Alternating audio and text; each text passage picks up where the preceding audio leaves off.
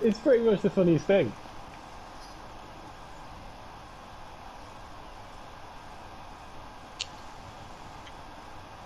Uh, Bob, I've got some